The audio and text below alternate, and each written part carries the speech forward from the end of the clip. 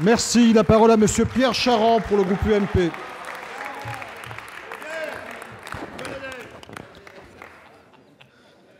Monsieur le Président, Mesdames et Messieurs les ministres, chers collègues, ma question s'adresse à Monsieur le ministre de l'Intérieur.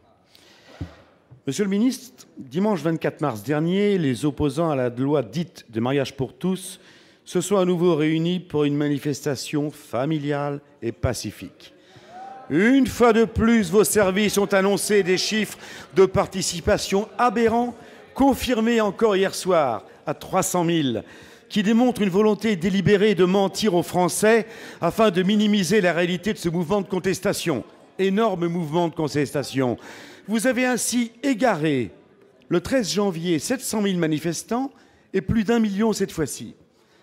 Je conçois que le gouvernement soit agacé par la détermination et la mobilisation massive des opposants à ce texte, mais cet agacement ne saurait ni justifier la manipulation grossière des chiffres, ni les instructions données par vous-même de la salle de commandement de la PP, assistée du préfet de police. Comment expliquez-vous l'utilisation de ce que vous appelez les aérosols sur les femmes, les pères de famille et les enfants Jusqu'à présent, les aérosols servent plus pour les asthmatiques que pour les manifestants. Pourquoi pas des vaporisateurs non plus? Alors qu'il s'agit de lacrymogènes, disons les mots, n'ayez pas peur des mots. Vous avez parlé de groupes extrémistes hier encore à l'Assemblée nationale, fortement secoués par mes collègues députés. Mais monsieur le ministre, je ne sais pas si quelques agités ont pu se faufiler dans la foule, mais toutes les images et les vidéos sont accablantes pour vous et vos services. Vos extrémistes sont des fillettes de 8 ans, des personnes âgées, des bonnes sœurs, des familles nombreuses et des élus de la République.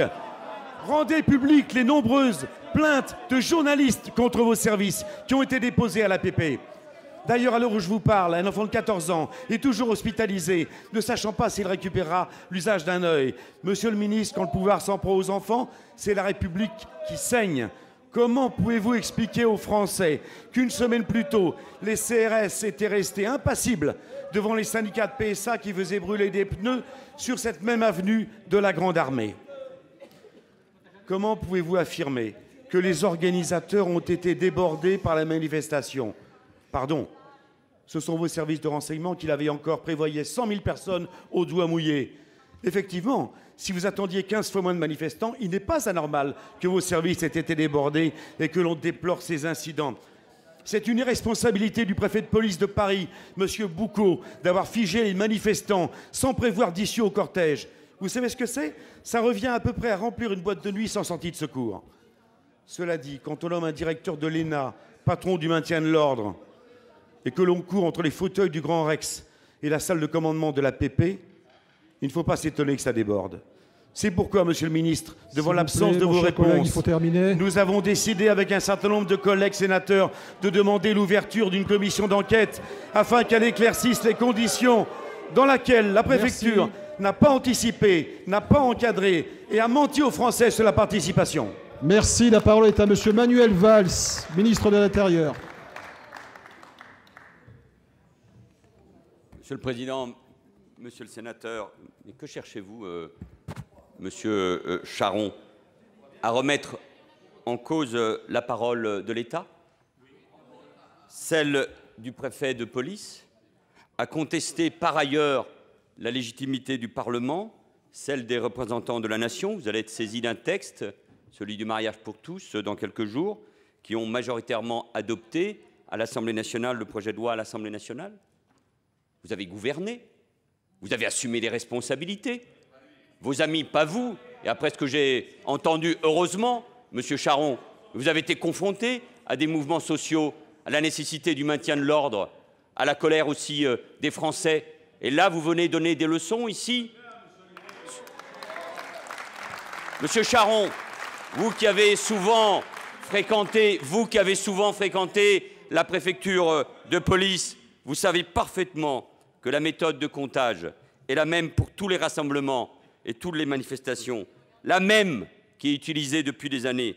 Et le chiffre de 300 000, qui peut penser, et le chiffre de 300 000 est déjà très important, mais qui peut penser que dans Paris, il y avait dimanche dernier plus d'un million de manifestants? Mais enfin, ça n'a aucun sens. Et pourquoi pas 2 millions? Et pourquoi 3 millions?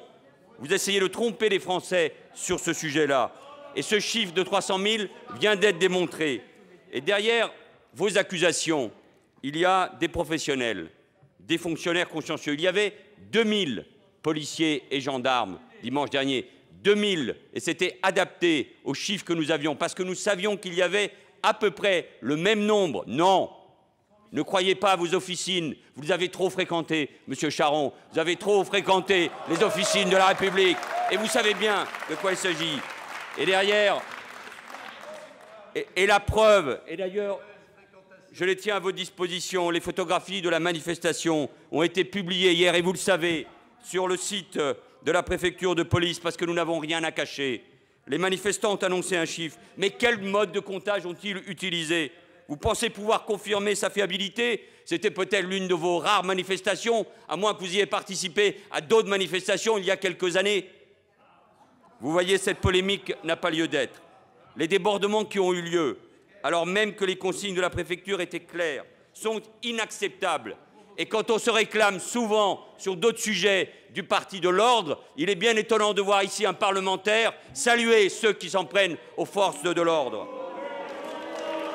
Il y a eu il y a eu de nombreux appels répétés sur internet et sur les réseaux sociaux pour braver une décision préfectorale, pour braver une décision préfectorale confirmée et je vous le rappelle par le tribunal administratif de Paris.